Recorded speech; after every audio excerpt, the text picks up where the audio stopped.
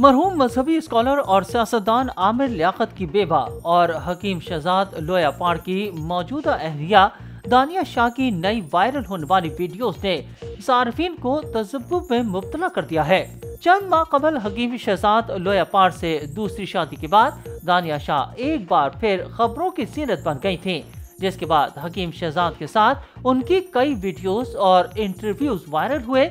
तहम गुजशत रोज दानिया शाह के सोशल मीडिया अकाउंट से एक अजनबी शख्स के साथ मुख्तलिफ़ वीडियोस शेयर की गई जिसमें दानिया शाह को अपने शोहर हकीम शहजाद की बजाय एक अजनबी शख्स के हाथों गजरा पहनते और वीडियोस बनवाते देखा जा सकता है।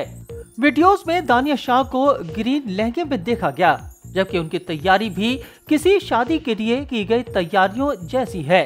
वीडियोस में मौजूद पस मंजर बज़ाहिर किसी शादी की तकरीब मालूम होती है।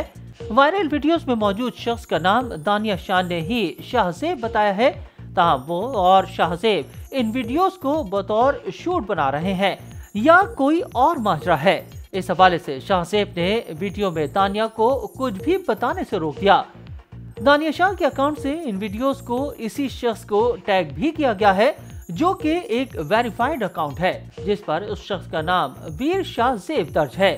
दानिया शाह के शाहजेब के हमरा वीडियोस वायरल हो रही हैं, जिसके बाद उन्हें सोशल मीडिया सार्फिन की जानब से शदीद तनकीद का निशाना बनाया जा रहा है। याद रहे कि रवा बर्स जुलाई में दानिया शाह की हकीम लोयापार से दूसरी शादी की खबर सामने आई थी।